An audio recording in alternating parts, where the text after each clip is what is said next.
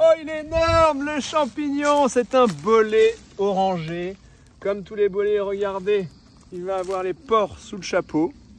On peut manger de préférence son chapeau, mais finalement, si vous faites cuire l'ensemble, si vous faites un velouté, vous pouvez mettre également le pied, ou alors si vous les faites sécher et que vous voulez en faire des poudres. Voilà, c'est un comestible intéressant et ça noircit à la cuisson, n'ayez pas peur.